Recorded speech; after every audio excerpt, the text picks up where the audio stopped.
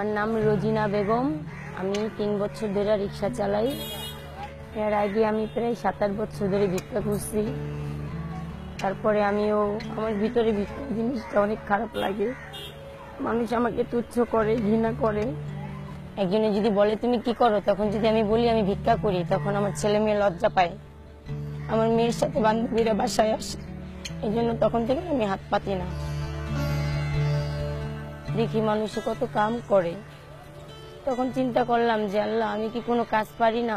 আমারে তুমি এরকম কোনো কাজ সন্ধান করে দাও যাতে আমি ছেলে মেয়ে নিয়ে কইরা খাইতে পারি। আমি এক ভাইরে ধরলাম যে, ভাই, আমাকে একটু রিক্সা চালানো শিখান। সে আমাকে বলল, তোমার তো পায়ের সমস্যা, তুমি প্রতিবন্ধী, তুমি কীভাবে চালাবা? এটা তো আর মোটরের না যে তুমি চালাবা। তারপরে দেখি, এক বছর পরেই দেখি এরকম মোটর বের হয়ে গেল। তারপরে এই মোটরের গাড়ি আমি আস্তে আস্তে ছয় মাসের শিক্ষা। এখন আমি ভালোই আছি। অনেক মামারা, ভাইয়ারা ওঠে না, মনে করে যে মেয়ে মানুষ রিক্সা চালায়, এটা হলো নামে রিক্সা চালায়।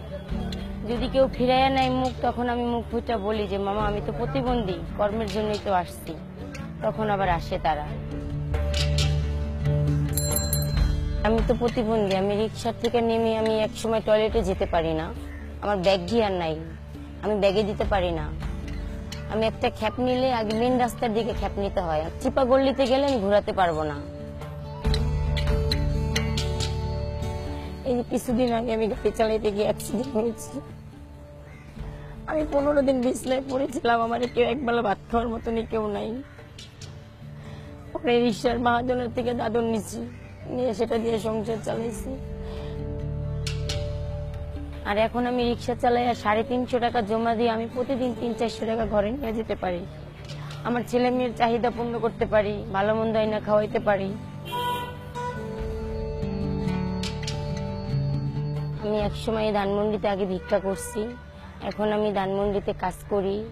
যারা আমাকে দয়া করছে, দুই টাকা দান করছে, তারা এখন আমাকে ভিক্ষুক চোখে দেখে না। আমি একজন কর্মজীবী, সেই চোখেই দেখে। তারা এখন আমার রিক্সায় ওঠে।